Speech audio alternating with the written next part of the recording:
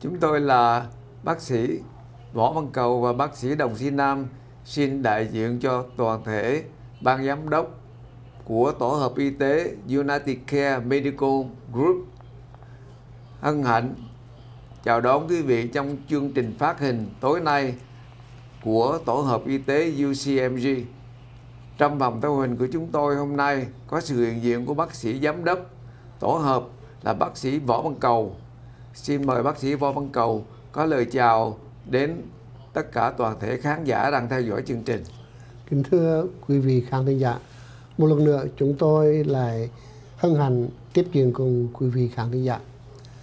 À, cũng như hàng tuần, hàng hai, hàng hai tuần chúng tôi thường thường à, trình bày cái quan điểm và những cái tiêu chuẩn của tổ chúng tôi là tổ United Care Medical Group Việt tắt là UCMD và cũng theo đó chúng tôi nói đến cái nguyên tắc mà chúng tôi làm việc, làm thế nào đưa đến sự hữu hiệu nhất, bảo đảm nhất để bảo vệ sức khỏe quý vị. Và nếu quý vị có bệnh thì công việc chữa trị được sớm nhất, hoàn hảo nhất, làm thế nào để quý vị lành bệnh sớm trở về với gia đình và phục vụ gia đình.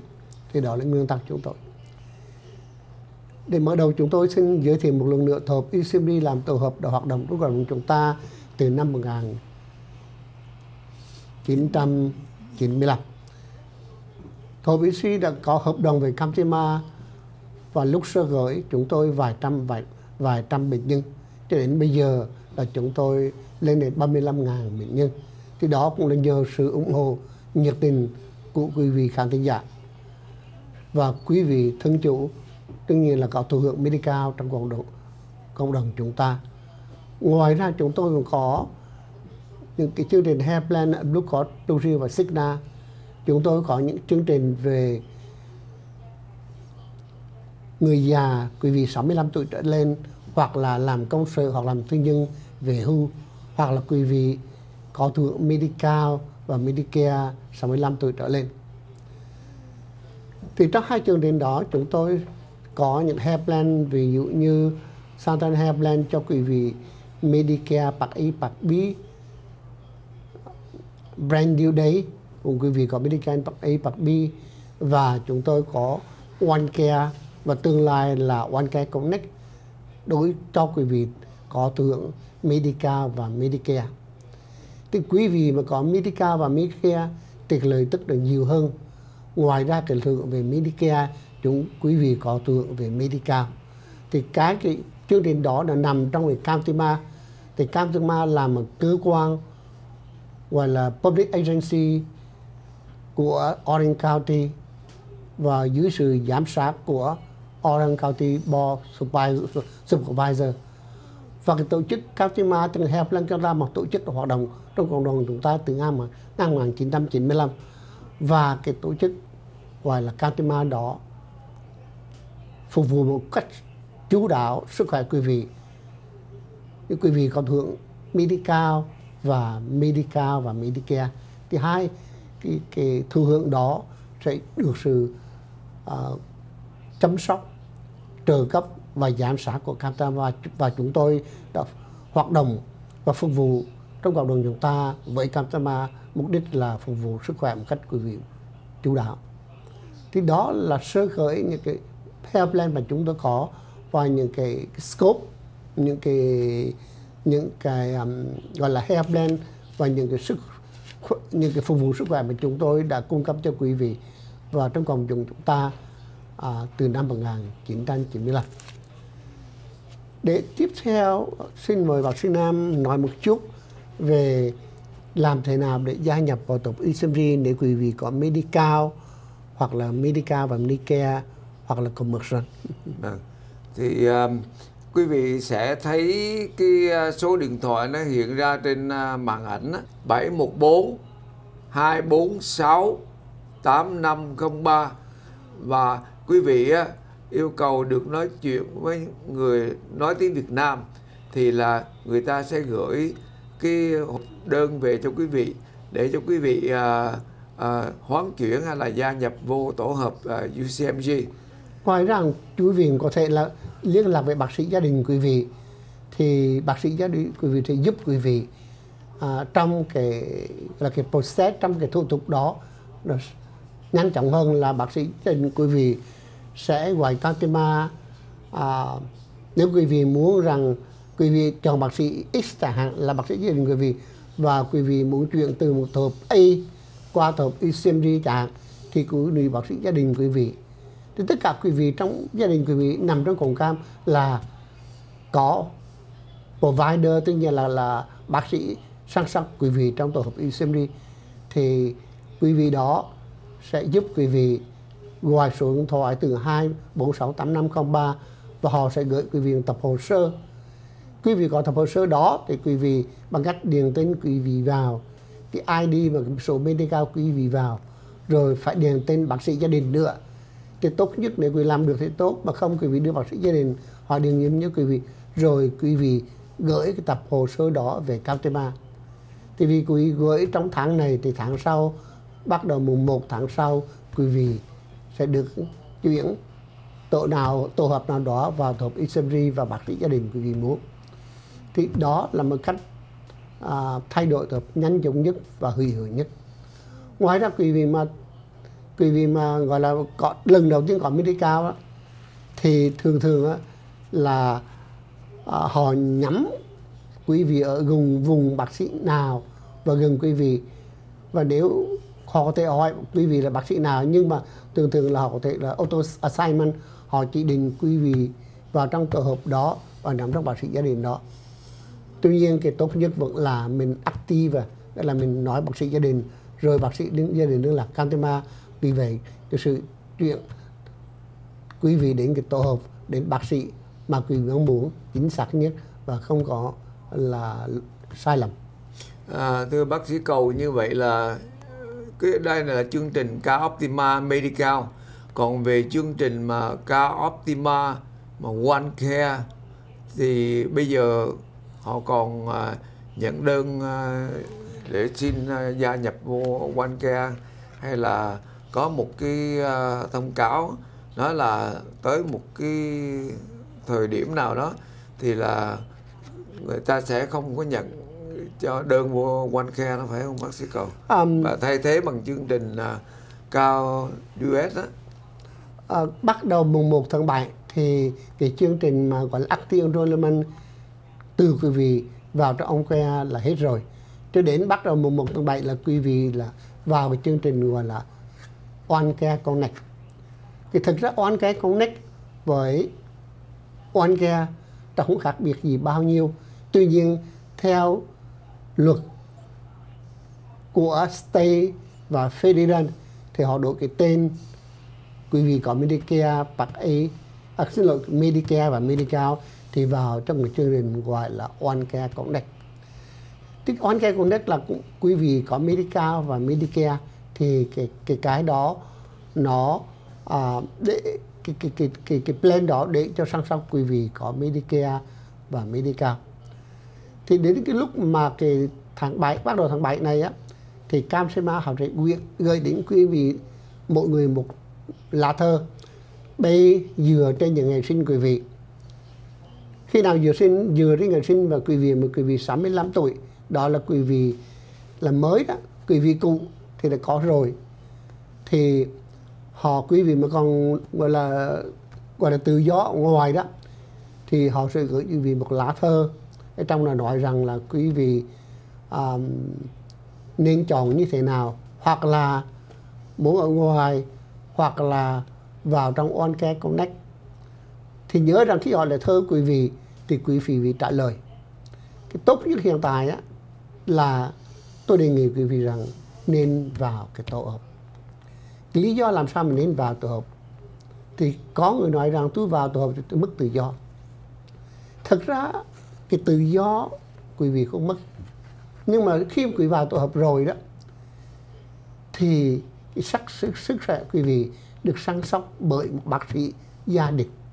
Nghĩa là tất cả bình quý vị từ đầu đến chân bác sĩ gia đình hợp với cả và nếu quý vị bệnh hoang đó, thì đương nhiên là chúng tôi cho phép bác sĩ gia đình chuyển quý vị đến bác sĩ chuyên khoa càng sớm càng tốt. Mục đích là như thế nào? Điều thứ nhất là sức khỏe quý vị được bác sĩ chuyên khoa đó theo dõi và chẩn đoán sớm thì công việc chữa trị quý vị được hoàn hảo hơn và sớm lành hơn và mau về nhà thay vì ở trong bệnh viện lâu ngày cái đó có hai lợi đích hai lợi điểm. Tự nhiên là mutual benefit. Benefit của vị lành bệnh về sớm và phục vụ gia đình.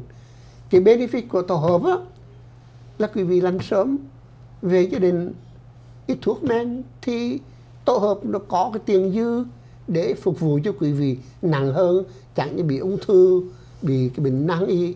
Thì cái đó là cái lợi điểm mà quý vị xin lỗi không dám nói vì không thấy nhưng mà nhiều khi có những cái lời nói qua nói lại người ngoài thế này thì nó những nhóm mà họ có cái lợi ích riêng về vấn đề quý vị đi tự do họ nói thực tế khi, chỉ vào tổ hợp và quỳ vẫn tự do. Quý vị đi đâu bác sĩ gia đình muốn chuyển đi đâu chúng tôi bằng lòng chuyển đi.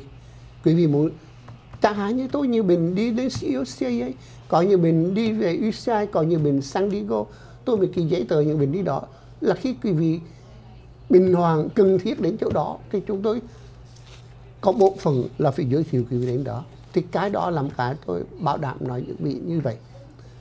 Cho nên hội như quý vị hồi xưa, vua, chúa mới có bác sĩ y điên, bác sĩ ờ, gia đình riêng, tổng thống mới có bác sĩ gia đình riêng qua đây mình nói một đơn giản như quý vị nói quý vị nói là tôi có đảng mà thực tế đó quý vị có bác sĩ gia đình riêng qua sự sang sóc sức khỏe quý vị thì cái đó lời quý vị rất là lớn lao bảo đảm sức khỏe quý vị nhất là y khoa phòng ngừa và tìm những bệnh năng y mình cần chữa để cho đi đến sức khỏe của mình bảo đảm hơn. Yeah.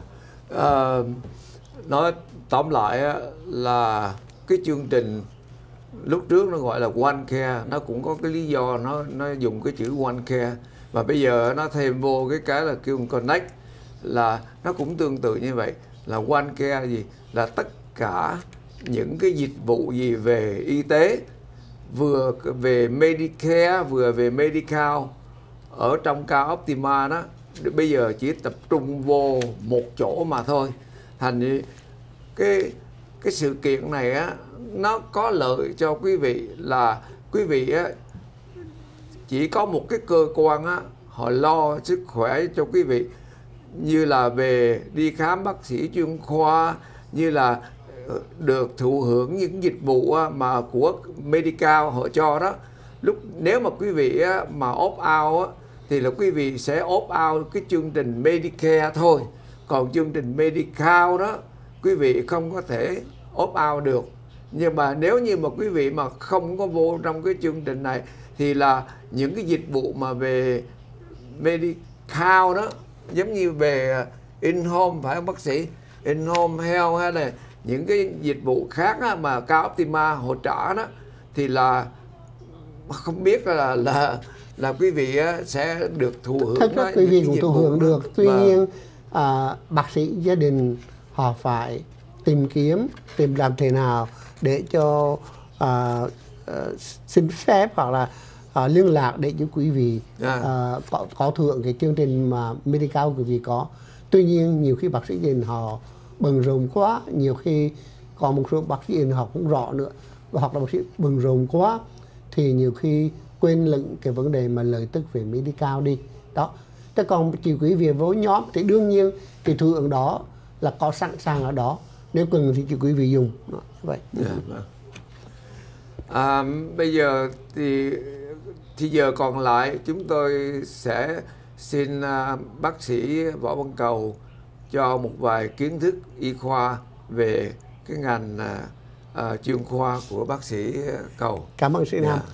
thì trước khi nói về một chút về chuyên môn thì chúng tôi có một loan báo là của viện đại học huế nghĩa là đại khái um, tất cả quý vị giáo sư quý vị cựu sinh viên viện đại học Huế ở trên nước Mỹ thì có một ban tổ chức gọi là gọi là alumni tức là là những quý vị đã từng là giáo sư quý vị là từng sinh viên ờ, uh, 2000, năm 2015 hôm nay là về 2015 à, chúng tôi có tổ chức một buổi họp mặt của cựu giáo sư và cựu sinh viên viện đại học Huế.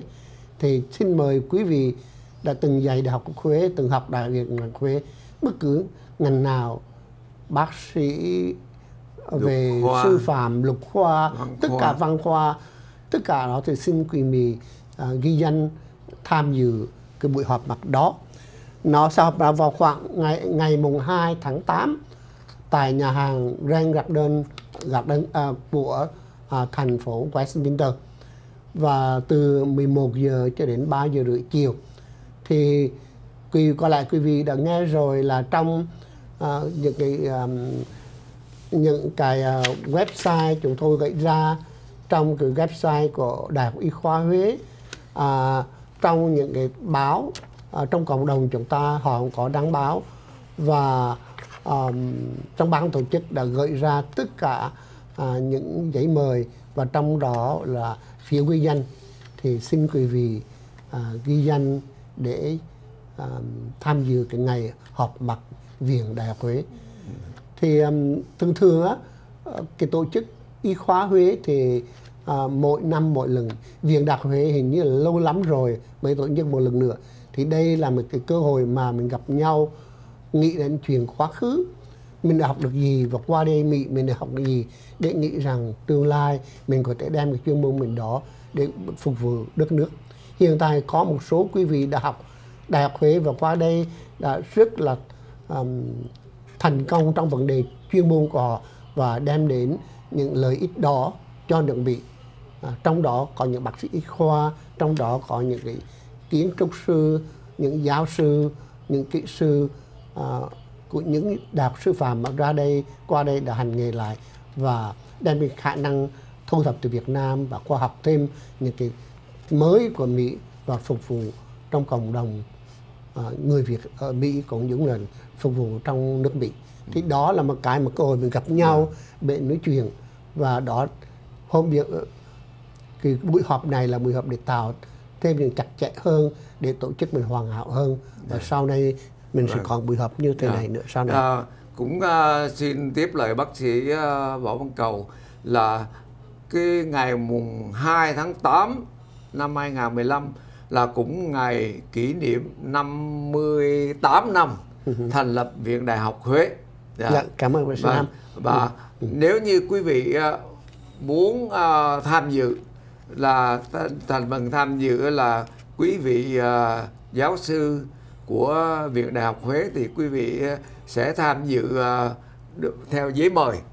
À, còn những quý vị mà cựu sinh viên hay là những có thể là những nhân viên mà làm việc cho ở Viện Đại học Huế đó nếu muốn tham dự thì phải đóng một khoản à, lệ phí ăn trưa là đại khai tôi đóng để ăn Dạ, trưa tôi vâng. thì 40 đồng một người Vâng. thì đ- à, thì xin quý vị liên lạc với bà Nguyễn Thị Cẩm.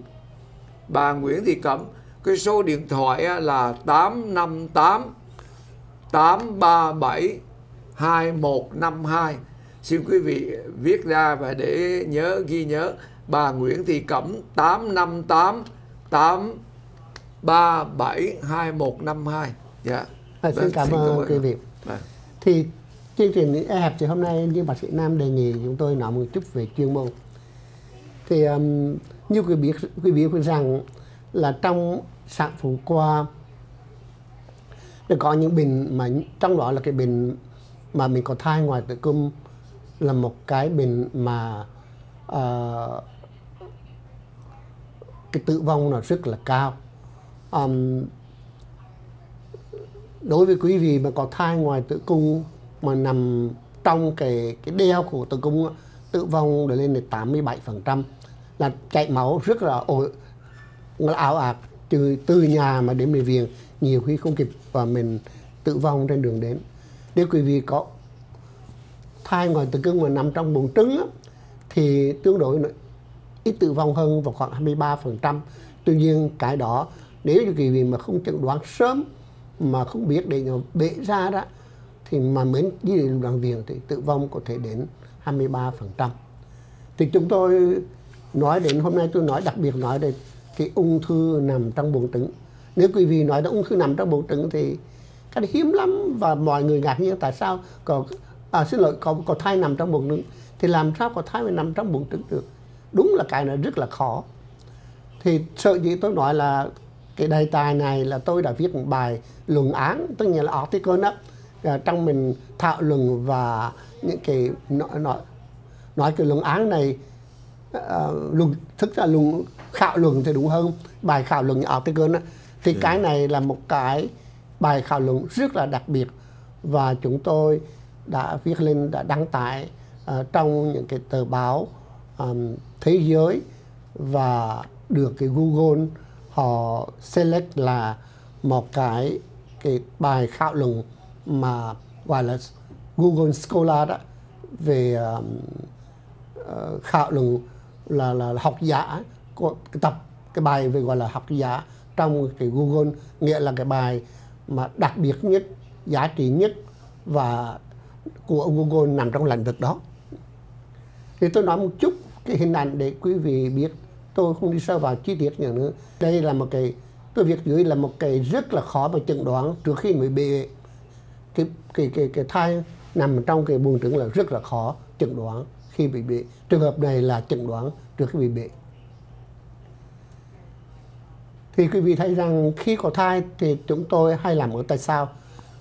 Quan điểm của tôi và sự nghiên cứu chúng tôi cho rằng làm một ở tại sao, siêu âm càng sớm càng tốt để mình khám phá những cái bất bình thường. Và vì vậy mà chúng tôi đã khám phá ra cái thai nằm ngoài tử cung. Quý vị thấy rằng có một cái bướu nằm mấy bụng trứng ở đây làm cho ở xa một nữa còn cái bướu nằm trong bụng người tây bướu nước nằm bụng trứng ở đây. Và đặc biệt bụng trứng này nó trong vòng một tuần mà nó thay đổi rất nhanh và có những cái cái tiêu chuẩn tôi gọi là cái cái clue để mình nói rằng cái này không phải là bướu bụng trứng mà cái này là ung là một cái có thai nằm trong bụng trứng. Đặc biệt là cái cái vòng cái cái cái cái, cái capsule tức là cái vỏ của nó rất là rất là đặc là vì mình có thai decision reaction và và trong này hiện ra bằng màu trắng. Đây là trong tử cung thì thấy rằng mình có thai không nằm ở trong tử cung không có trong tử cung. Vì vậy chúng tôi làm thử nghiệm thử máu và dựa trên cái siêu âm của chúng tôi dựa trên thử máu vừa dựa, dựa trên cái khám nghiệm thì chúng tôi biết rằng là quý vị có thai ngoài giữa tử cung vì vậy chúng tôi sẽ đem vào phòng mổ. Nếu như mà để nó bể thì nguy, có thể nguy hiểm đem vào phòng mổ và mổ ra. Thì quý vị thấy đây, một hình này là cái buồng trứng bên tay trái. Nó không có gì hết, rất là bình thường. Buồng trứng bên tay trái. Trước đó cái cái cái ống, xin lỗi, cái ống dẫn chứng bên tay trái là cái đường mà giống cung sâu đó, dài đó. Cái ống dẫn chứng bên tay trái đó. Cái giống dẫn chứng bên trái rất là bình thường. Cái buồng trứng thì nó hơi căng một chút phía trên. Đây cái ống dẫn trứng bên tay phải cũng rất là bình thường. Và cái buồng trứng cũng là tốt thôi không có gì lạ thì thường có thai á, ngoài tử cung nó nằm trên cái ống dẫn trứng, mà đây ống dẫn trứng không có. Chỉ có một cái buồng trứng nó lớn lên chụp thôi. Thì tôi, đây là quý vị cái hình trong cái bụng đó, và tôi có camera nằm trong bụng tức là cái máy quy phim nằm trong bụng, mình chụp vào đấy thì thấy cái buồng trứng và có một cái một chỗ nó trồi ra. Quý vị thấy rằng nó trồi lên rồi ngoài đó nó có một chỗ mà đen đen trắng trắng đang lồi ra đó. Thì cái đó là cái máu chảy trong đó và nó sắp vỡ ra. Chụp khía cạnh khác thì vậy cái buồng trứng là cái màu trắng còn cái chỗ mà trồi lên màu màu tím và màu đen và tím đặc đó là, là nó căng lên của cái mạch máu. vệt máu và chỗ đó là chỗ thai nó nằm ở đó. Ôi. Cái những bể ra thì chảy máu kinh khủng lắm. Vì vậy chúng tôi cái hình ấy thì cũng, cũng, cũng hơi chi tiết quá không cần. Đấy. Thì sau khi tụi mổ tụi tôi cắt cái bướu nó ra đó thì chúng ta thấy cái buồng trứng bên tay trái nó hơi nhỏ hơn bên tay phải. Là vì mình cắt ra một phần rồi đó. Đó. Thì chúng tôi đến ở vòng thí nghiệm. Thì quý vị thấy rằng trong cái thí nghiệm này là quý vị thấy cả mũi tên. Hai mũi tên là, là chỉ vào chỗ đó là cái thai. Quý vị thấy cái thai nằm trong buồng trứng.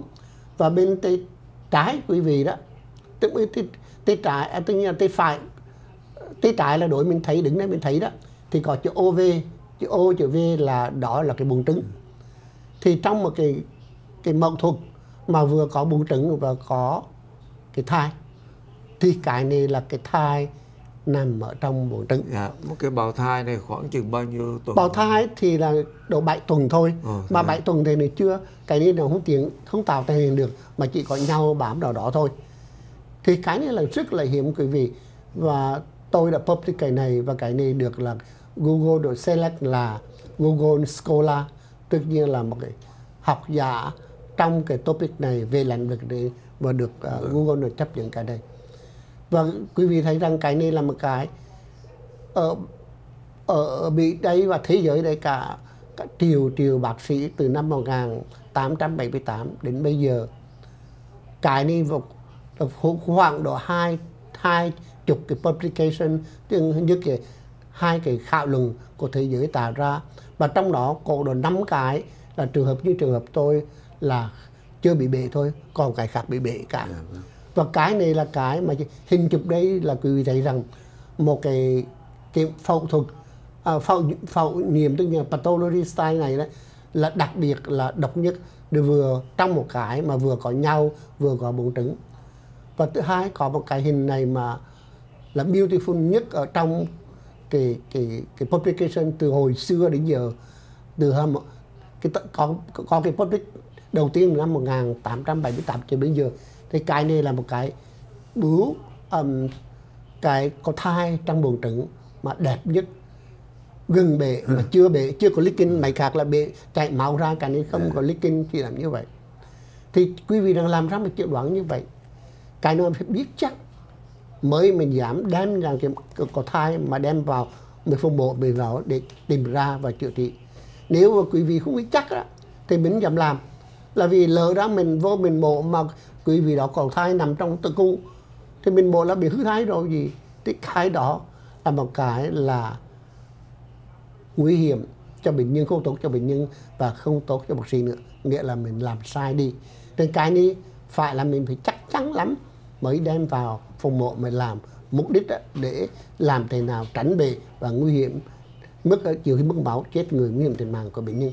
Thì cái này là một cái cái nghiên cứu mà tôi đã tìm ra và đã viết một bài tốn công và được select là một cái school à, Google Scholar trong cái lĩnh vực này là có thai ngoài tử cung có thai trong bụng trứng.